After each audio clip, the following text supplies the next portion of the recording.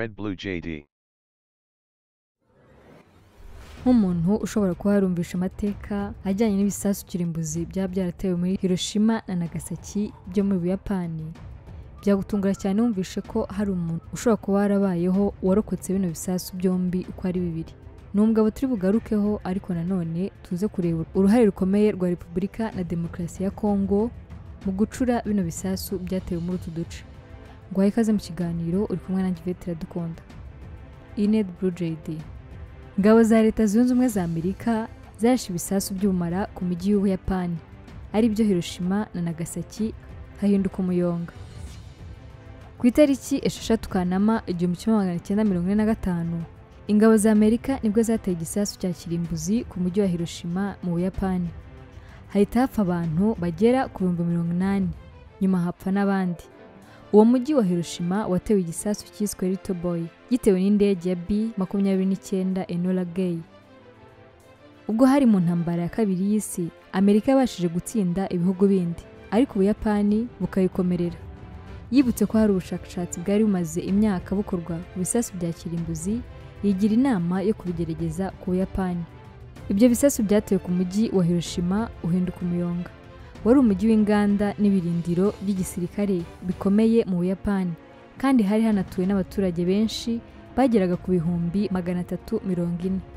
Indege b29 enola gay yari itwawe n'umupiloto w'intambara brigadier general paul warford tibets yarekuye little boy cyari gifite ibiro mirongo itandatu na bine by'ubumara bwa uranium. Cyafashe amasegonda mirongo ine n'ane ngo kigwe kuri uyu mujyi kivuye ku butumburuke bwa metero magana atanu mirongo inani. Ku birebana n'umubare nyawo w'abahitanywe n'ibyo bisasu hari n'abo byagizeho ingaruka. Urubuga wikipedia rutangaza ko ntawamenya neza mu by'ukuri umubare nyawo. Hagereranyijwe n'uko baba babarirwa hagati y'ibihumbi ijana na cumi n'ibihumbi magana abiri mirongo itanu. Gusa n'ubu aho ibyo bisasu byatewe baracyagerwaho n'ingaruka zabyo harimo kanseri. Nyuma ho iminsi itatu ku itariki icyenda kanama igihumbi kimwe magana cyenda mirongo ine na gatanu umujyi wa nagasaki nawo wamanuriweho ikindi gisasu. Ubuyapani buhita butsindwa intambara ndetse burahira kutazongera kugira igisirikare no kujya mu ntambara kugeza ubu. Paul tibets wari utwaye indege yarekuye iki gisasu kuri hiroshima. Yapfuye mu mwaka w'ibihumbi bibiri na karindwi. Afite imyaka mirongo icyenda n'ibiri. Nk'uko nabikubwiye turaza kuganira ku mugabo wagize amahirwe yo kurokoka iri turika ry'ibi bisasu uko ari bibiri. Biratangaje cyane kuko ari we muntu wa mbere wavuzwe na guverinoma y'ubuyapani ko yarokotse bino bisasu kirimbuzi byose byatewe muri iyi mijyi uko ari ibiri. Uyu mugabo yitwa tsutomo yamagushi yari umwenjeniyeri w'abamarine ndetse akaba uwarokotse ibisasu kirimbuzi mu gihe cy'intambara y'isi ya kabiri. Nyuma y'ibi bisasu byombi yarokotsemo yaje kwitwa hibakusha akaba ari ijambo ryo mu kirimi cy'ikiyapani risobanura umuntu wagezweho n'ibisasu bya hiroshima na nagasaki akabasha kubirokoka. Yavuze ko atigeze atekereza ko ubuyapani bwari bufite gutangiza intambara. We yakomeje gukora akazi gusa inganda nyinshi z'ubuyapani zatangiye guhomba cyane ndetse n'ubwato butwara za peteroli nyinshi zirarohama. Ese igisasu kijya guturika? Uyu mugabo byagenze bite? Uyu mugabo yabaga ndetse anakora mu mujyi wa nagasaki. Ariko mu mpeshyi y'igihumbi kimwe magana cyenda mirongo ine na gatanu yagize uruzinduko rw'akazi rw'amezi atatu muri hiroshima. Tariki esheshatu kanama ubwo yari ari gutegura kuva muri uwo mujyi wa hiroshima yari ari kumwe n'abo bakorana uwitwa akira iwanaga na kuniyoshi sato ubwo rero yari ari mu nzira ajya gufata gari ya moshi ngo agende asubire nagasaki. Yibutse ko yibagiwe icyangombwa cye maze niko gusubira aho yakoreraga ngo agifate. Saa mbiri n'iminota cumi n'itanu rero ni bwo indege ya b makumyabiri n'icyenda yarekuye igisasu cyitwa Little Boy hagati mu mujyi mu birometero bitatu aho yari ahagaze. Icyo yibuka ni uko yabonye icyo gisasu kiva mu kirere n'urumuri rwinshi mu kirere. Niko kumukubita agwa kure.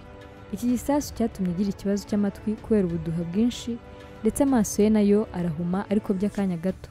Ndetse aza no kugira ibikomere byinshi ku mubiri we wose ugana ku gice cy'ibumoso. Indege yiswe b29 enola gay yagenze ahantu hareshya n'urugendo rw'amasaha atandatu iherekejwe n'izindi esheshatu zose z'intambara. Bivugwa ko abahasize ubuzima ari hafi mirongo itatu ku ijana by'abari batuye hiroshima icyo gihe. Naho abandi babarirwa ku bihumbi mirongo irindwi barakomereka. Abandi ibihumbi amagana bazize ingaruka z'iki gisasu cy'ubumara kirimbuzi bunyuranye nyuma y'amezi y'imyaka myinshi.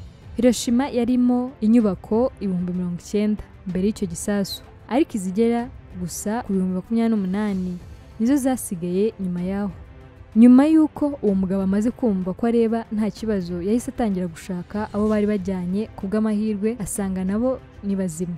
Aho baharaye iryo joro bukeye bahita bajya i nagasaki. Muri nagasaki bahawe ubuvuzi ku bw'ibikomere bari bafite. Niko gushyiraho ibipfuko ndetse tariki icyenda kanama ajya gutanga raporo y'akazi yari amazemo igihe. Hamaze kuvamo hiroshima yakurikiwe na nagasaki. Niyo yamanuriwemo ikindi gisasu nk'iki cyatewe hiroshima hashize iminsi itatu. Ku itariki icyenda y'ukwa munani mu mwaka w'igihumbi kimwe magana cyenda mirongo ine na gatanu ahagana saa tanu by'amanywa tariki icyenda kanama. Ubwo igisasu cyitwa fatman abanyamerika bagiteraga mu mujyi wa nagasaki. Yamaguchi yari ari gusobanurira umukoresha we ibyabereye i hiroshima. Ku bw'amahirwe y'uyu mugabo igisasu nanone cyaturikiye hafi mu birometero bitatu uvuye aho yari ari. Dore ko atigeze agira ibindi bikomere abitewe n'iryo turika. Ahubwo yamaze hafi icyumweru afite umuriro mwinshi ndetse aruka ku buryo bukomeye.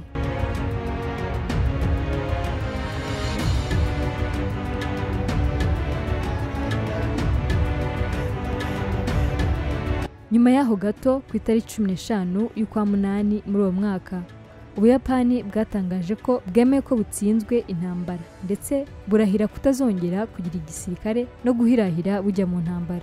Nuko intambara ya kabiri y'isi irangira ityo. Nyuma yamaguci yaje kubona akazi k'ubusemuzi mu gisirikare. Ahagana mu gihumbi kimwe magana cyenda mirongo itanu we n'umugore we nawe warokotse igisasu cya nagasaki bari bafite abana babiri. Nyuma yaje gusubira mu kazi ke mu ruganda rwa mitsubishi. Mu gihumbi kimwe magana cyenda mirongo itanu na gatanu ubwo guverinoma y'ubuyapani yatangazaga abantu barokotse iziturikwa ry'ibisasu bya kirimbuzi. Yamagushi we umwirondo we bavuze ko yarokotse icyo muri nagasaki gusa. We yumvisha anyuzwe kuko yumvaga yishimiye ko akiriho gusa. Uko yagendaga akura ariko ibitekerezo bijyanye n'ikoreshwa ry'ibisasu byatangiye guhinduka maze ageze ku myaka ya za mirongo inani. Yanditse igitabo kijyanye n'urugendo rwe mu iturika ry'ibisasu nk'umuntu wabirokotse byombi. Akita ikasareteru inoshi. Muri bibiri na gatandatu yaje gutumirwa kuba yagaragara muri dokumenteri yavugaga ku bantu ijana na mirongo itandatu na batanu barokotse iri turika ry'ibisasu. Yamagushi bari kumukoresha interiviyu yavuze ko impamvu yanga ibisasu bya kirimbuzi ari ukubera ko byangiza ikiremwamuntu. Yavuze ko yumva nta mpamvu ibyo bisasu byakomezwa gukorwa. Makumyabiri n'ebyiri ukuboza bibiri n'icyenda.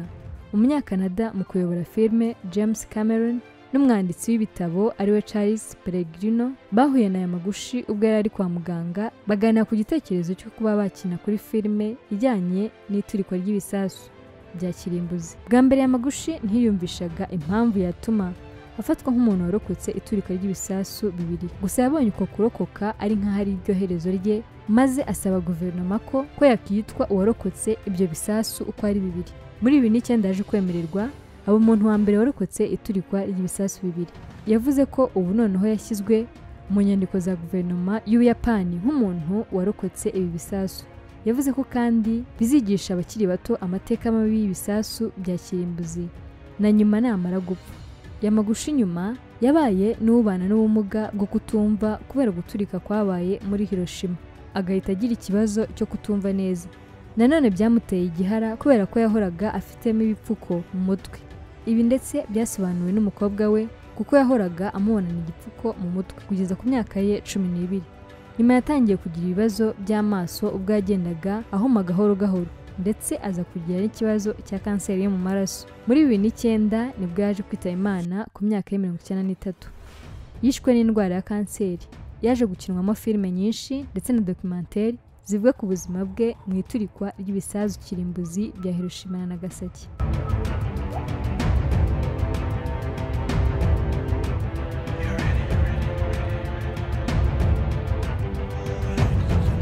Mu gitabo bise in the heart of darkness the atomic bomb bamenya neza ko ubutare bwa uranium bwakozwemo igitwaro cya kirimbuzi cyatewe i hiroshima na nagasaki.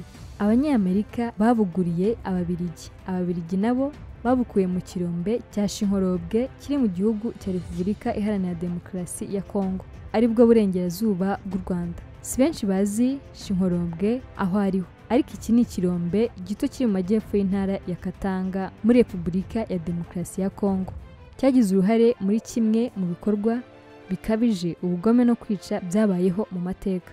Ibi kandi byashimangiwe n'inyandiko umwarimu w'umubirigi Profeseri Jacques yaje gushyira hanze agaragaza ko abanyamerika baguriye ababirigi uranium ingana na toni ibihumbi mirongo itatu. Bakazigura amadolari asaga miliyoni ijana. Ubu butare ni bwo bwakoreshejwe mu kurimbura abayapani. Bangana n'ibihumbi ijana na mirongo ine. Bari batuye Hiroshima ndetse n'abandi ibihumbi mirongo irindwi na bine bari batuye i Nagasaki. Kuva ubwo Pierre na Marie Curie bagaragaje uko uranium itanga radiation ikoreshwa mu kuvura kanseri. Ibi ari na byo baherewe Nobel Prize mu mwaka w'igihumbi kimwe magana cyenda na gatatu. Isoko ry'ibirombe bya uranium ryahise ryaguka ndetse ibirombe by'ubutare bwa uranium bwabaye igihenze cyane kurusha ibindi. Ubwo abanyamerika bari bazengerejwe n'abayapani cyane bashatse igisubizo cyihuse cyaca intege igihugu bafataga nk'umwanzi wabo. Gica mu ntambara ya kabiri y'isi yose guhera igihumbi kimwe magana cyenda mirongo itatu n'icyenda kugeza igihumbi kimwe magana cyenda mirongo ine na gatanu. Maze bafata akanama kari kayobowe na Leslie Groves Jr maze ayobora abari bagize ikiswe Manhattan Project. Maze batunganya bomb imwe yiswe Little Boy ndetse n'indi yiswe Fatman aya mazina akaba yaragaragazaga imiterere y'ingufu y'izi bomb. Y'iyi Little Boy niyo yari ntoya kuri Fatman mu gushaka aho bagomba kuyiteza ubuyapani bugahita bucika intege. Baturanyije ahantu hane Hiroshima kuko hari inganda nto n'inini nyinshi ndetse n'ubuyobozi bw'igisirikare cy'abayapani. Yokohama kuko hari inganda zikora indege hateye imbere kandi ari ipfundo ry'umurongo mugari w'amashanyarazi y'ubuyapani. Ahandi hatoranyijwe ni nka kokura nigata na kyoto. Ariko bikaba byaje guterwa i Hiroshima na nagasaki gusa. Ishyano ryagwiriye nagasaki nyuma ya Hiroshima. Hiroshima umujyi warimo Mitsubishi inganda nyinshi z'umuriro ndetse n'iz'ikoranabuhanga wahindutse umuyonga. Nyuma y'uko abayapani bahatikiriye uwahoze ari perezida obama yaciye agahigo ko kuba ari we perezida werekeye aho igihugu cye kigeze kurasa ibisasu akiri ku butegetsi. Kabone nubwo atigeze asaba imbabazi ariko byibura mu ijwi riciye bugufi kandi ryumvikana ikiniga yagaragaje akababaro k'ibyabaye avuga ko bitazongera kubaho ukundi. Ubu bwoko bwombi bw'ibisasu bukorwa hifashishijwe uburyo bwo guhuza cyangwa se gucagagura umutima w'imbere ari byo nucleus. W'ibinyabutabire runaka byabugenewe ubu buryo bukaba buzwi ku izina rya nuclear reactions mu bijyanye n'ubutabire. Iyo bari gucagagura uriya mutima w'imbere ari byo nucleus w'ikinyabutabire cyangwa se bari gufatanya imitima myinshi y'ibinyabutabire bakayihuza hamwe byombi bitanga imbaraga nyinshi cyane kandi mu gihe gito. Arizo ziva muri ririya turika tubonesha amaso yacu ndetse no kwangirika kw'ibintu runaka. Ibi bisasu byose rero bifite ubushobozi bwo kwica ahantu henshi mu gihe gito cyane cyangwa se mu gihe kirekire bitewe n'imirasire yangiza ikomeza kugaragara aho byatewe. Ikindi kandi ibishashi byabyo biba bifite ingufu nyinshi ku buryo bishobora gusenya amazu ndetse n'ibikorwa remezo nk'imihanda n'ibindi.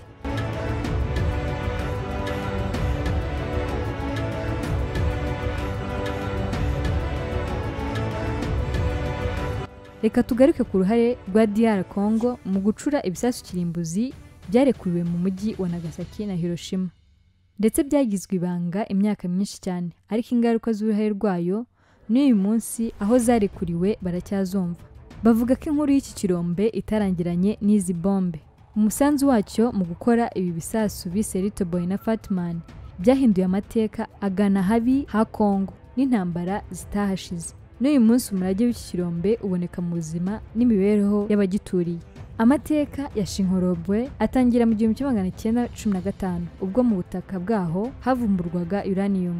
Mu gihe kongo yari mu bukoloni bw'ububirigi. Uranium ntabwo yari ikintu gikenewe cyane ku isoko icyo gihe. Uburyo iteye byavugwaga n'abadage nk'ibuye ridafite akamaro. Icyo gihe ahubwo kompanyi y'ababirigi yitwa eniyo miniyeri niyo yacukuraga radium. Muri ako gace ikinyabutabire cyari kimaze igihe gito kigaragajwe n'abahanga ari bo mari na Pierre Curie. Kugeza mu gihumbi kimwe magana cyenda mirongo itatu n'umunani havumbuwe uburyo bwo gutubura imbaraga kirimbuzi. Nibwo agaciro ka uranium kamenyekanye. Amaze kumenya ubwo buvumbuzi Albert Einstein yahise yandikira perezida wa Amerika Franklin D. Roosevelt amugira inama ko uranium yakoreshwa mu gukora ingufu zidasanzwe. Yewe no gukora igisasu kirimbuzi mu gihumbi kimwe magana cyenda mirongo ine na kabiri abahanga bo mu gisirikare cy'amerika bemeje kugura ingano ishoboka ya uranium bagamije kuyikoresha mu mushinga wa manhattan. Nubwo hari ibirombe muri colorado na canada nta handi ku isi hari iki gitabire cyitwa uranium yanganaga n'iyo muri congo. Tom zoerner wasuye shinkorobwe agamije gukora inyandiko yitwa uranium war energy and rock that shaped the world. Yagize ati imiterere ya shinkorobwe ntisanzwe.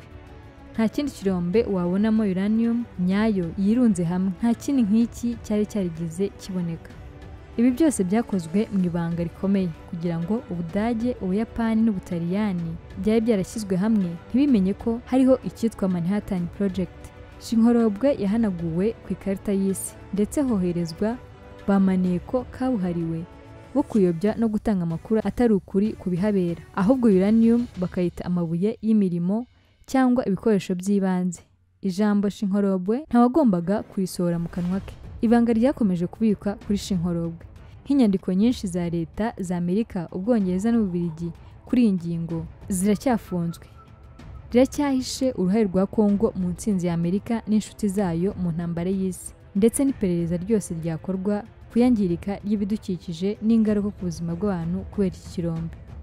Mu mbiro yagize ati shinkorobwe ni umuvumo kuri kongo gusa yongeraho ko mu gihe kirenga ikinyejana iki gihugu gikungahaye ku mutungo kamere cyahinduye ibintu byinshi ku isi. Mu mbiro yagize ati isi yacu ikoreshwa n'umutungo kamere wa kongo ikintu cyiza nabivugaho ni uko muri iri koranabuhanga ryose riteye imbere buri wese avuga kongo bavuga ko kandi uruhare rwa kongo mu mibereho y'isi nta warupima. Kwemera ijambo shinkorobwe kimwe nka hiroshima na nagasaki niyo ikwiriye kuba intambwe ya mbere mu kwishyura uwo mwenda.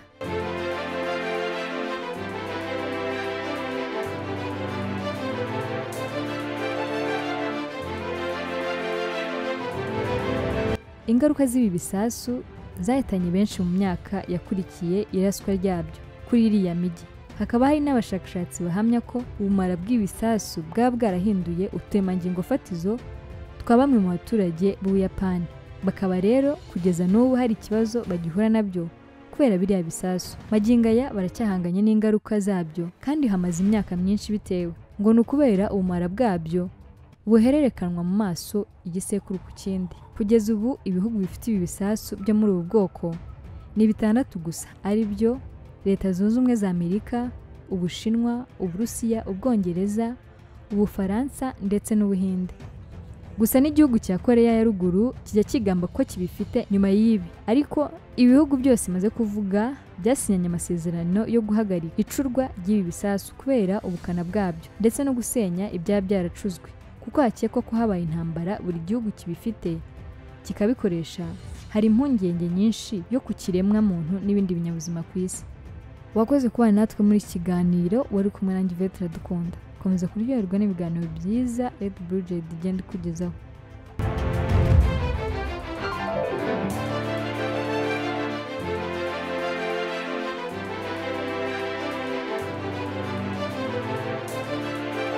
Abacuruzi bafite ibicuruzwa na serivisi nziza ariko bafite ikibazo cy'uko abantu benshi batazi ubucuruzi bwabo. Hari icyo wakora ibihumbi n'ibihumbi by'abanyarwanda bakarara bamenya ibikorwa byawe. Muri red blue jd bakwereka uko ubigenza ubucuruzi bwawe bukamenyekana kandi n'abakiriya bakarushaho kukwegera no kukwizera. Bafotora ibikorwa byawe bagasobanura ubuziranenge bwabyo bakanabimurikira abakiriya. Bafotora abageni bakanababikira videwo z'ubukwe bwabo kuri YouTube ku buryo nta kibazo cyo kongera kubura amashusho cyabaho. Abaririmbyi babakorera amashusho y'indirimbo zijyanye n'igihe bakanabafasha kumenyekanisha ibihangano byabo. Abantu basobanutse bamaze kumenya ibyiza byo gukorana na Red Blue JD bakorera munsi y'isoko rya Kimisagara werekeza Nyabugogo. Wahamagara kuri 0788 36 53 55 byigeze bikubaho kwitabira ibirori. Inama cyangwa se ibindi bikorwa bikaba uhari ukabikurikirana kuva bitangiye kugera bisoje. Ariko nyuma y'ukwezi kumwe ugatangira kwibagirwa bimwe mu bice by'uko uwo muhango wagenze kandi wari uhari. Niba urimo kureba aya mashusho ni uko udashobora kwihanganira kureba amashusho no kumva amagambo atari meza. Turi miliyari zirindwi z'abantu kuri iyi si. Abarenga miliyari enye muri twe dukoresha interineti buri wese muri twe arihariye. Ateye ukwe afite ibyo akunda ku giti cye adahuje n'undi uwo ari we wese. None niba dutandukanye kubera iki twagira ubwoko bumwe bw'ibirori? Kubera iki inkuru zacu abantu bazibara kimwe? Ntabwo bikiri ibanga ko uwo ari we wese ko uyu munsi Red Blue JD ari kompanyi ifata amashusho ikanayatunganya igakoramo inkuru cyangwa se ibyegeranyo bidashobora guhaza ijisho cyangwa se ugutwi k'uwo ari we wese inshuro imwe. Red Blue JD ni inkuru yo kubara. Ariko cyane cyane ni inkuru ivuga uburyo abantu bafata amafoto meza y'ubukwe n'ibindi birori. Inkuru y'uburyo babika amashusho y'ibirori n'ibindi bikorwa kuri interineti ubwo ukaba ubonye uburenganzira bwo gutunga amashusho yawe ubuzima bwose. Nta muntu nzi wakoze ibirori inama n'ibindi bikorwa ngo areke gushimishwa no kongera kugira bya byishimo cyangwa se kwiyumva nk'uko yiyumvaga cya gihe. Ibi bikaba atagombye gusubiramo bya birori ahubwo akabikesha amashusho n'amafoto yafashwe mu buryo bwiza. Umuntu wese uvuze ibirori bishingiye ku muryango no ku mibanire aba avuze ubukwe. Uvuze ubukwe bwagenze neza aba avuze amashusho n'amafoto yabwo yafashwe neza. Uvuze amashusho n'amafoto yafashwe neza mu bukwe mu nama no mu bindi birori aba avuze Red Blue JD Red Blue JD ni indi nyito bakoresha iyo bashaka kuvuga filime mbarankuru zikozwe mu mashusho meza n'ubutumwa butava mu mutwe w'uwabwumvise hari ikibazo kimwe kirebana n'iyi ngingo. Ibi byose mwabikoraga mute Red Blue JD itaraza bakorera munsi y'isoko rya kimisagara werekeza nyabugogo. Wahamagara kuri zeru karindwi umunani umunani mirongo itatu na gatandatu mirongo itanu na gatatu mirongo itanu na gatanu.